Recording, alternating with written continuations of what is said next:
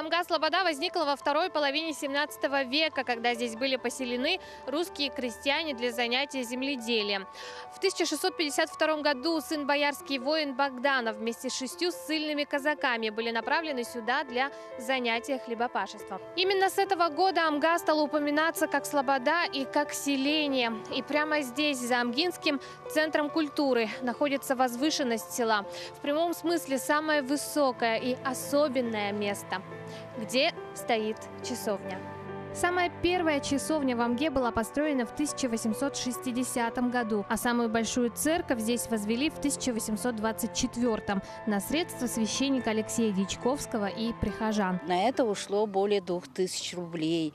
По тем временам это была очень большая сумма. И церковь была очень красивая. Значит, о ней есть упоминания. Преображенская Амгинская церковь она называлась. Кроме того, еще была звонница рядом с ней. Это было самое такое э, достопримечательность большая в Амге. Все ходили сюда на праздники, на все праздники ходили вот на это место. Это самое священное место и по сей день.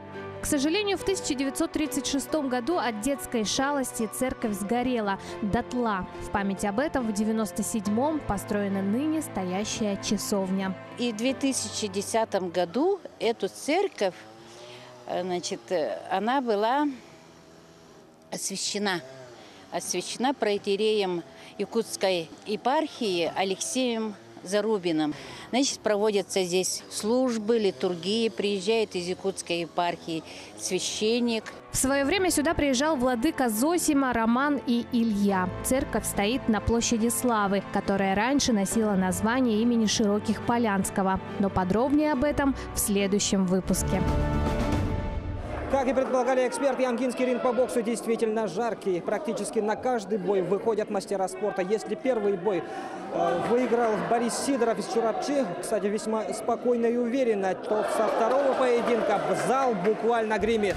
В нынешних играх всего заявлено 20 команд по боксу. Это 74 спортсмена. Действительно, специалисты не ошиблись в своих утверждениях. Бои прошли на высоте. Были нокауты, отказы секундантов и даже самих спортсменов. Было заметно, что спортсмены прошли хорошую подготовку. Каждый месяц по 8 боксеров, которые отобрались, завоевывая путевку в прошлом году. И поэтому каждая весовая категория, каждый бой будет очень интересный и увлекательный. Яркий и красивый поединок показали представители Вилюйской группы районов Николай Матвеев из Нюрбы и Ян Максимов из Сунтар весовой категории до 49 килограммов. В этом поединке мастер спорта Матвеев одержал безоговорочную победу. На протяжении трех раундов спортсмен из красного угла работал первым номером, удерживая соперника на расстоянии. Это, несомненно, принесло свои плоды. Я работал первым номером, идти вперед, сломать соперника.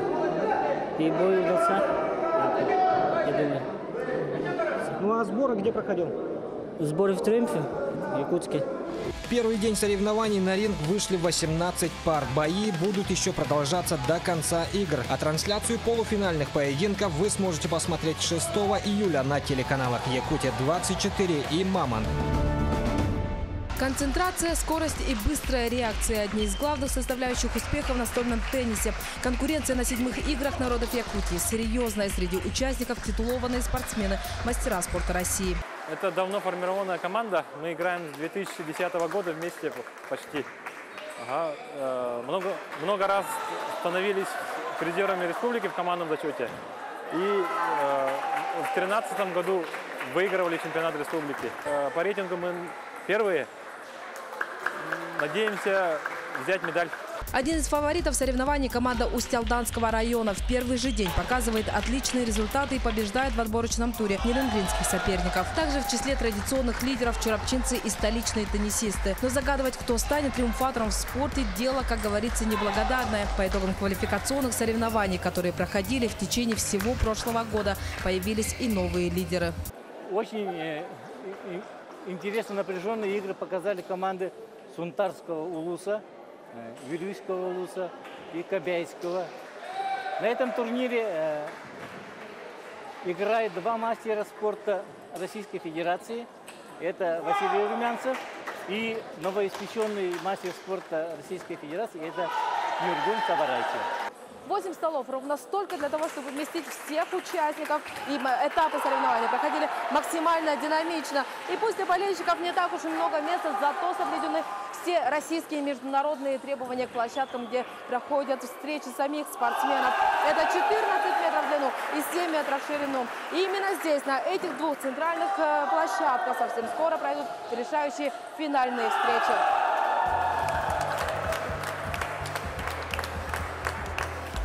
Самые важные решающие встречи состоятся 5 июля. В этот же день теннисисты постараются записать на свой счет победы в личном первенстве. Пляжный волейбол для Якутии – это весьма новый вид спорта. И в программу спортивных игр народов Якутии эта дисциплина вошла впервые. Всего заявлено участников 31 мужская команда и 27 женских. Соревнования проводятся по четырем площадкам. Если брать во внимание то, что этот вид спорта только начинает развиваться в республике, на играх заявлено аж 58 команд. Организаторам пришлось разделить их на целых 8 групп. Для Якутии относительно молодой вид спорта, да, и специфический вид спорта, потому что у нас лето короткое, мы успеваем играть только вот июнь, июль, август. И вот э, чтобы развивать этот вид спорта, пляжный волейбол, в этом году включили в программу седьмых спортивных игр. Уровень игроков в этом году, конечно, а, повысился в связи с подготовкой к играм. Ребята, видимо, проходили сборы, поэтому есть хорошая команда там Ленского, Улус района, Мегина Кангаласского, Амгинского, все они здесь на площадках находятся. Ребята из Кобяйского Улуса выступают на этих играх за сборную Сузов Республики. Благодаря слаженной игре ребята в упорной борьбе обыграли противоборствующую команду из Чурапчинского Улуса. Причем Чурапча на этих играх числилась в фаворитах. Ну, игра в целом сложилась трудная. Мы выиграли команду Чурапчу очень сильную. Фаворита команду выиграли 2-0. Вечером в Среднеколымском играем. А сами вообще давно играете? Мы сами вот начали с, осень, э, с, вес, с весны играть. Родные стены не помогли амгинской команде. Против них сегодня играли девушки из Усть-Алданского Улуса. На первой партии девушки ушли в отрыв в 16 очков. Итог партии 21-5 в пользу Усть-Алданок. На второй партии хозяева попытались сравнять счет, но не вышло. Итог встречи 2-0. Уже 9-10 лет занимаемся волейболом. А пляжным 3 года. Тренер нас всегда поддерживает. Благодаря его мы советами выиграем. Для пляжников играть в жаркую и солнечную погоду – самое оно. Но синоптики прогнозируют облачную и весьма прохладную погоду на всем протяжении игр. Так что спортсменам за право стать победителями придется бороться и с капризами погоды.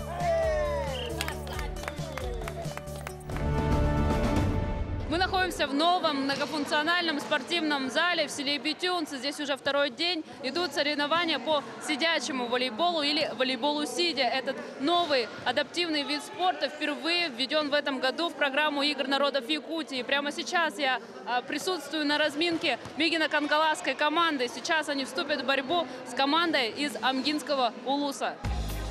Волейбол сидя является паралимпийским видом спорта. Как и в классическом волейболе играют две команды из шести человек. Мужская команда по волейболу сидя должна состоять из четырех спортсменов с поражениями опорно-двигательного аппарата. Один спортсмен с минимальными поражениями и один спортсмен без ограниченных возможностей здоровья. Состав женской команды чуть отличается.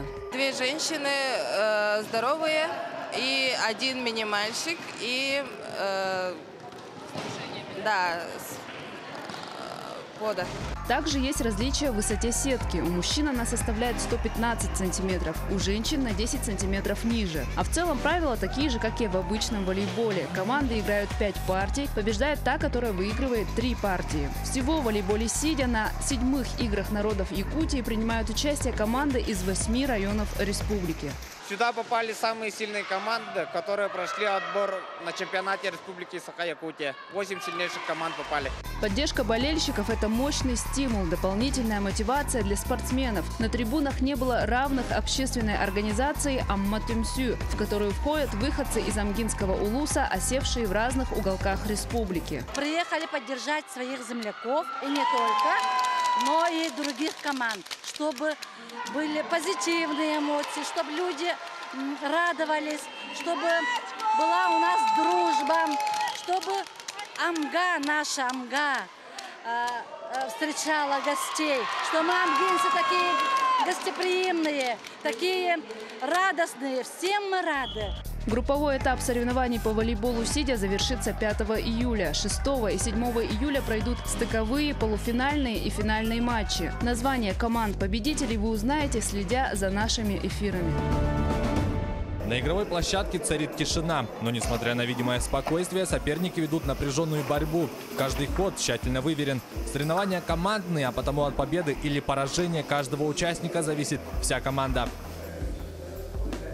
Спортсменам ничто не должно мешать, а потому перед игрой все отключают и сдают свои телефоны, как того требует правила. Ведь если во время партии у спортсмена зазвонит телефон, ему автоматически будет засчитано поражение. Роман из сборной города Якутска, мастер спорта по шахматам и один из сильнейших игроков на соревнованиях. Он уже не в первый раз участвует на играх народов Якутии. Роман не потерпел еще ни одного поражения на этих состязаниях, но признается, что даже ему каждая партия дается нелегко. Ну, здесь уже финал, 10 команд, состав очень э, ровный, крепкий, интересный интересно играть. Э, пока удается побеждать, но соперники все достойные, партии получаются содержательные. Сами соревнования претерпели некоторые изменения. Это позволило существенно сократить время. На этот раз составили э, это положение по быстрым шахматам. А, а прошлый раз, когда нам играли, мы играли по классической схеме. Но это было очень накладно, очень тяжело участникам. И они э, пять дней э, с утра до вечера играли, практически без отдыха. Явные лидеры еще не выявились на соревнованиях по шашкам. По словам судей, сейчас рано делать какие-либо прогнозы, так как здесь выступает множество очень сильных игроков. У нас здесь в этом турнире участвует 10 международных гроссмейстеров, 22 международных мастеров спорта и российской, российской категории. Э, состав очень сильный. Мы не можем на сегодняшний день сказать, какая команда выйдет на пьедестал этого турнира. По итогам двух туров по шахматам, набрав по 7 очков, лидирует команда Якутска и Усалданского УСа. Финал состоится 6 июля. По шашкам пока лидирует команда Верхневилюйского, Татинского и Чурапчинского УСов. Финал пройдет 7 июля. Несмотря на прохладную погоду, зрители дают жару, особенно подготовленных все атрибуты настоящих болельщиков. Во второй соревновательный день Амма Олимп принимает легкоатлетов. На отборочном туре финальную часть прошли все звезды королевы спорта. Так чьи же имена войдут в историю седьмых игр? На 100 метров очень интересный забег будет. Вот у нас открытие этого сезона Аяла Иванов – уроженец Вилюйского Луса, в этом году выиграл у всех наших признанных лидеров. Не было никаких сомнений, что золото на дистанции 5000 метров завоюет Сардана Трофимова. Ну, даже вот с погодой нам повезло с Тайером. Может, это прыгунам как-то это холодно, а для старой, Тайера вообще идеальная погода. Новая дорожка вообще идеальная, покрытие очень хорошее. Не жесткое и не мягкое. На рекорд не работала, для меня это как проходящий старт.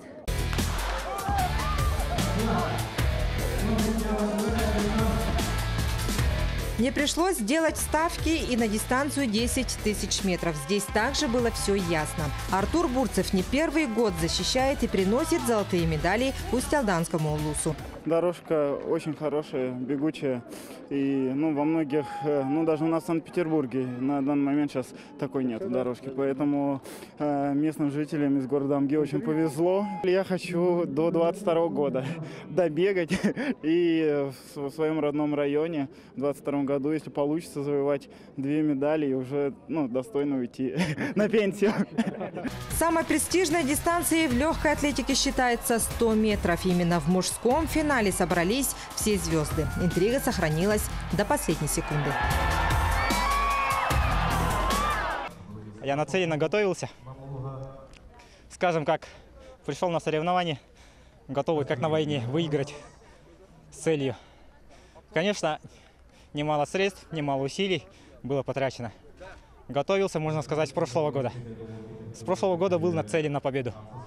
Конечно, отборочные проходили тяжело, но надо было оптимизироваться. Я оптимизировался. На 400 метров спринтер Михаил Руфов и на этот раз не уступил свои лидерские позиции, таким образом показав универсальность на коротких дистанциях.